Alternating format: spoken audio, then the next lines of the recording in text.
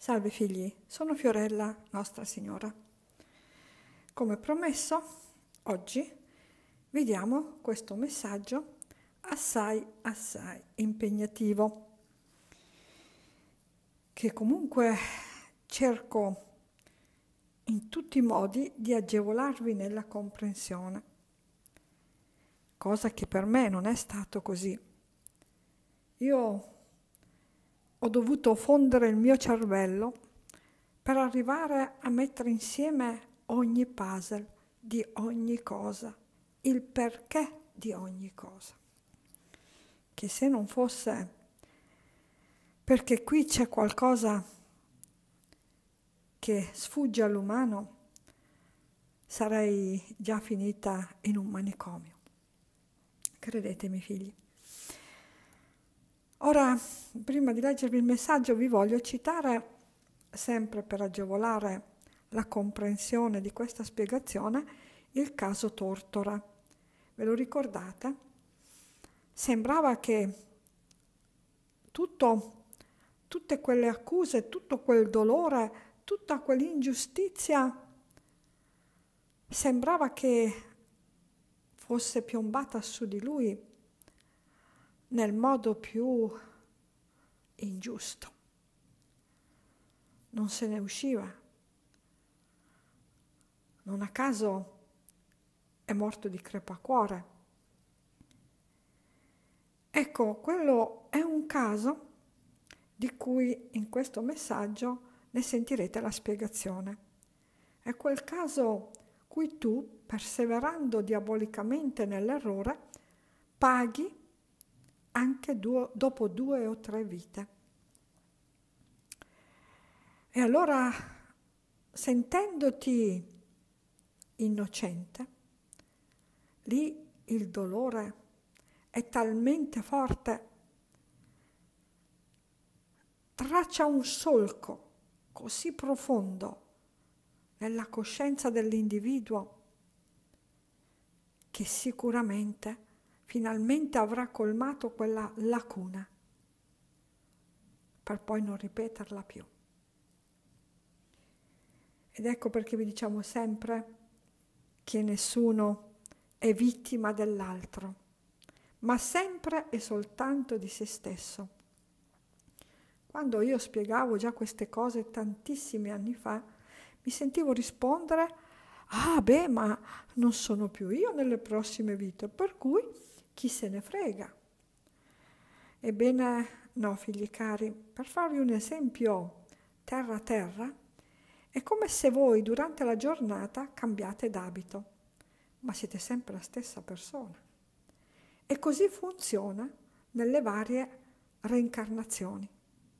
Siete sempre voi, avete solo cambiato abito e ubicazione. Per cui il dolore è sempre e soltanto il vostro. Perché se così non fosse, anche lì ci sarebbe un'ingiustizia. Nessuno deve pagare per un dolore altrui.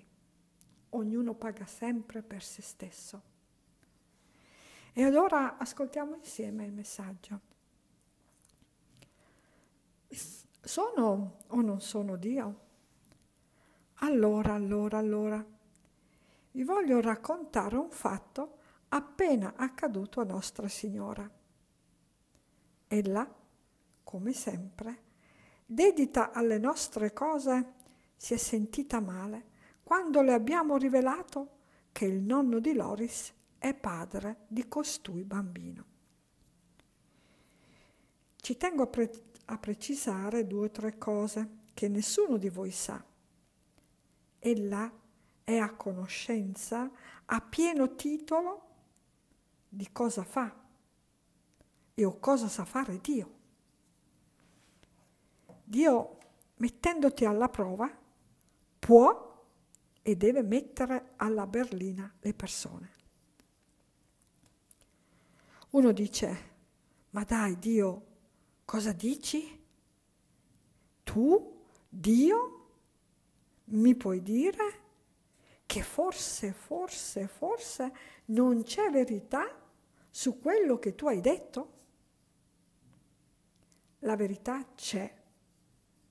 E se c'è, c'è.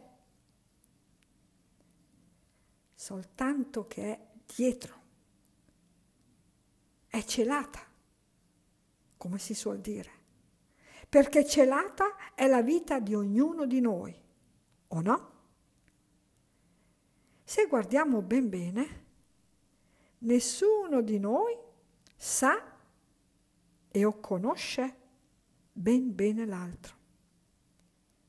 E se anche dovessimo amarci alla follia, nessuno conosce al pieno neanche se stesso. Figuriamoci gli altri. Ma gli altri siamo noi, quando in un certo senso noi siamo vittime dell'altro.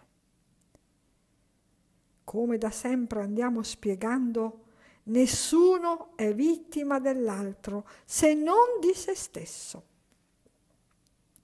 L'altro funge da gancio per ogni destino.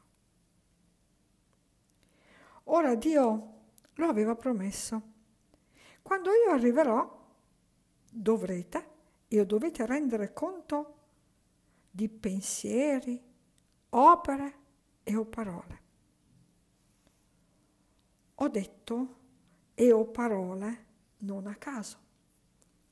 Dunque, dicendovi e o parole è per dirvi, guardate, per voi i pensieri non corrispondono mai e poi mai alle parole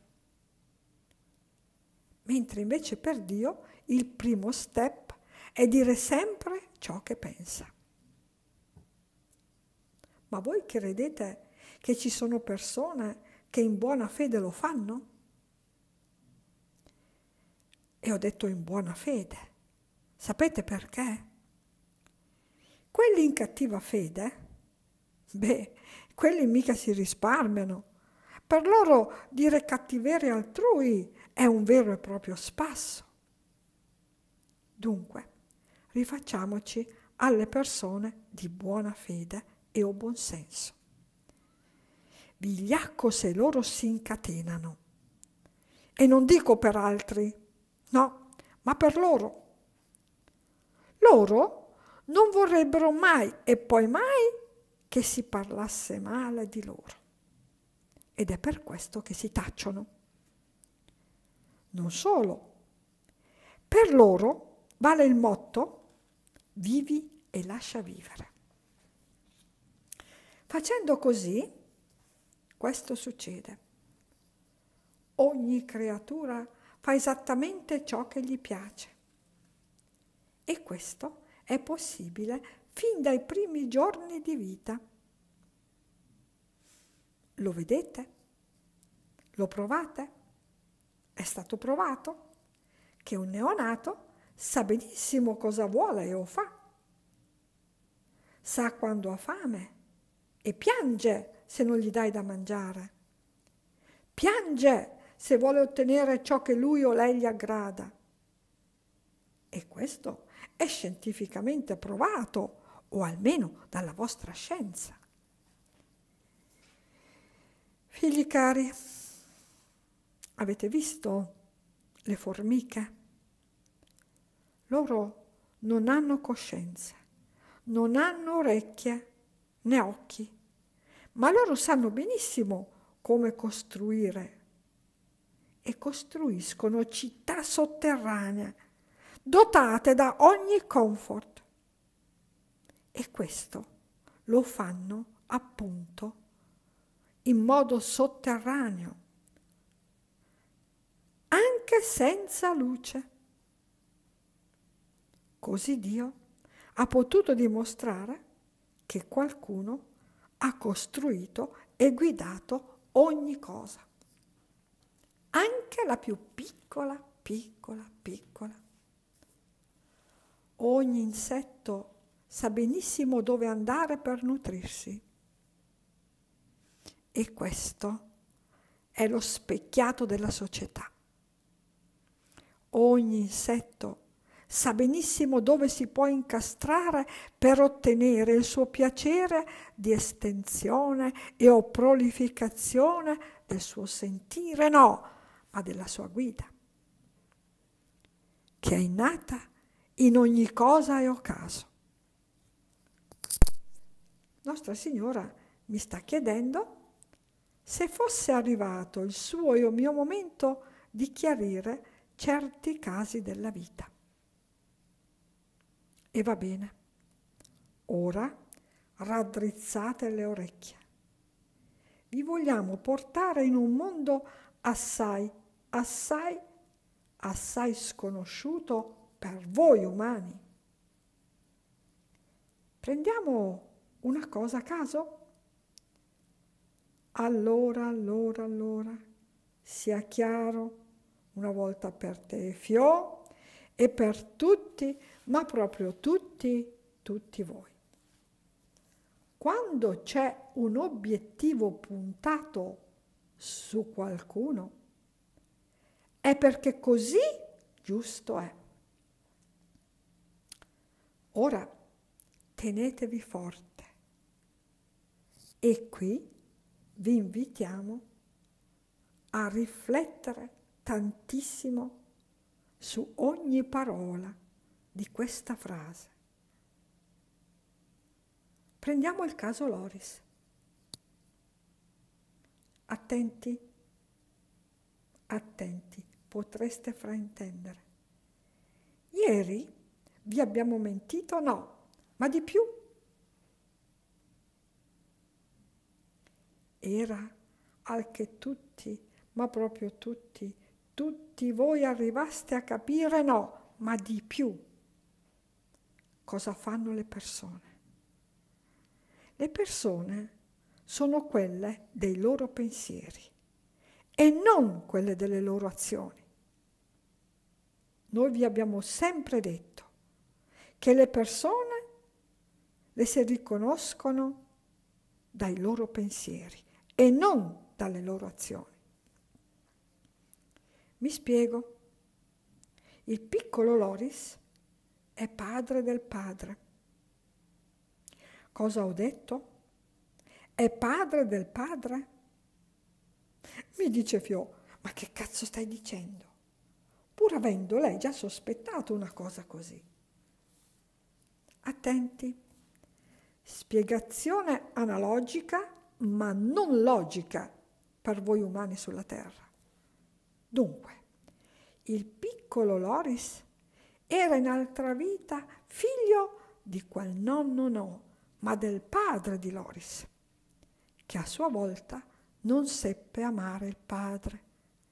E così torna sulla terra, amato sopra ogni cosa dal padre, ma che anche lui ricambiava, perché i due erano un legame unico come si suol dire. A questo punto dell'esistenza terrena succede un patatrac fa- familiare. Il piccolo aveva terminato il suo ruolo terreno. E to, il piccolo aveva ricambiato l'amore paterno, ma il padre, che ancora non aveva ricambiato a sufficienza, ecco che gli viene tolto anche questo affetto in modo così crudele. Era quella crudeltà con cui in altra vita quel nonno non seppe amare suo figlio. Ora so che vi ho e vi ho, o vi abbiamo sconvolto, ma questo è il vero senso dei famosi detti. O tu impari ad amare o io ti costringo. E così funziona ogni cosiddetto detto. O tu fai ciò che io ti impongo o io ti costringo. E allora, allora, allora, adesso pian piano si capisce perché Dio aveva lasciato quel meraviglioso comandamento. Ama il tuo prossimo come te stesso. Perché dice così? È questo che ancora non avete capito. Avete capito, figli? Dio ti dice, tu, parlo a te, per te comprendi ogni cosa, a te e per te ogni cosa è lecito. Vero Fio? Certa gente pensa apertamente o meno che a loro sia tutto, ma proprio tutto dovuto. Loro pensano che siccome Dio li sta mettendo alla prova, a loro insaputa, e così facendo non gli fa mancare niente. Già, se no, come li si potrebbe mettere alla prova o no? Se non hanno niente, che vuoi che ti preparano? Se vuoi che sperimentano? Se non gli dai l'abbondanza, che vuoi che facciano? con poco e niente.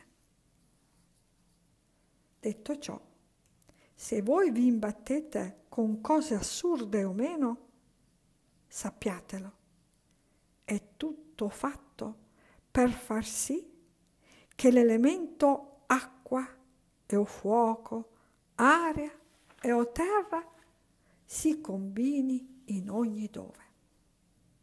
E mi spiego meno e meglio ogni qualvolta succedono fatti clamorosi e o meno, e se dico meno, perché certo clamore ancora non c'è, ma che ne sarebbe degno se non di più, è perché ancora non è arrivato il suo momento. Ma il momento dell'individuo c'è e se c'è, c'è sempre. Nel senso che l'individuo è senza tempo né spazio, ma c'è. Gira, gira, gira e quando si torna su quel punto che lui ha fermato per un suo clamoroso errore, e allora, ma soltanto allora, si rivelerà per ciò che è. E mi spiego meno e meglio. Se io adesso in questa mia vita so, so, o voi pensate che l'individuo non sa? No, no, no, sa, sa, sa. E se dico così è perché l'individuo, guidato dall'invisibile, che ha già trascritto ogni cosa dentro la sua coscienza, ma la coscienza non profana, profanata deve essere colmata da quelle lacune che l'individuo ha. E se le ha, è perché attraverso la vita e le sue esperienze le deve colmare. Una volta espiato i propri errori, soltanto allora, ma soltanto allora non è più umano, ma santo. Ora so, e se so, so di avervi fatto strabiliare e o creare dentro di voi una gran confusione. Ma figli, a questa noi siamo abituati. Siete voi che dovete capire, no, ma di più, che ogni cosa errata si paga innanzi a Dio. Così come ben spiega la preghiera del Padre nostro rimetti a noi i nostri debiti come noi li rimettiamo ai nostri debitori. Dunque, riepilogando, io in questa mia vita sto pagando per un errore di tre o quattro vite fa. Quando l'ho commesso, per la prima volta non capivo, ovvio e scontato. Ma man mano che si ripresentava l'errore, io, invece di correggermi, andavo avanti, perché così piace a me. Ma Dio non ci ha creati come suoi sudditi, ci ha regalato una coscienza che ci ammonisce, ti parla, di giorno e di notte. E se tu ancora non cedi, beh, beh, beh, allora, allora, allora sarai messo alla berlina e o mercé di tutto, ma proprio tutto, tutto il mondo. E di questo figli spesso ve ne diamo prova. Voi figli cari, adesso state assistendo all'era delle parabole, vero figli? Perché così Dio ha voluto, che ognuno di voi si riconoscesse nell'altro. Uno mi può dire, ma perché? Siamo tutti, ma proprio tutti uguali? Sì e no. Sì, perché tutti, tutti, tutti siamo o perveniamo dalla stessa fonte. Sì, perché Dio ci ha creato e ho creati tutti, tutti, tutti uguali. No, è perché c'è dietro ogni individuo la terra madre, ovvero le esperienze più o meno vissute che fanno sì che l'individuo abbia più o meno sperimentato, appiattito quel quid di carico di esperienza per far sì che si diventi degni dell'unico Dio. Ora Nostra Signora ci pone una domanda assai, assai, assai preziosa.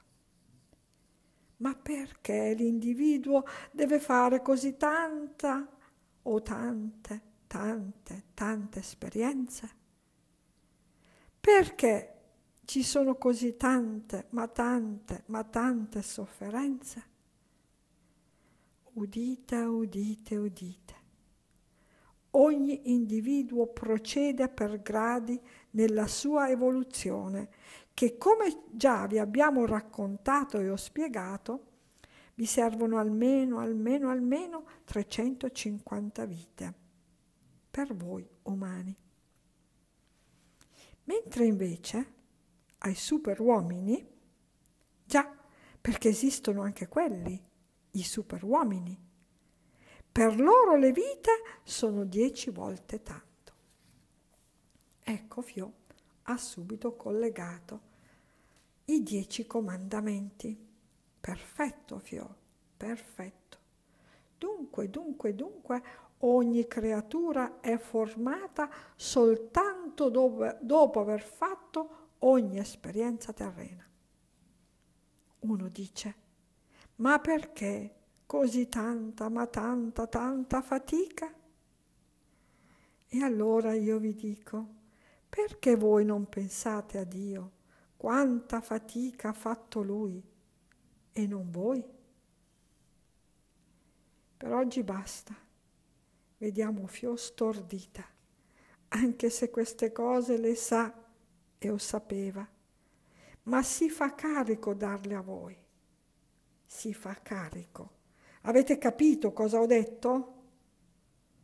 Lei si fa carico e non vi dico quanto pesano su di lei. Amen, no. Alleluia, sì. Ecco figli, oggi vi chiediamo veramente molti sforzi per capire e andare oltre. Quando dice no, ma di più, andate oltre. Ora, se volete capire, siete chiamati alla scienza del ragionamento, ovvero sviluppare la vostra intelligenza che è in ogni creatura. I tempi dello spirito sono iniziati. Dio ci porta sempre ciò che noi possiamo affrontare e non, non ci mette mai innanzi all'impossibilità di capire. Grazie sempre per essere con noi. Alla prossima.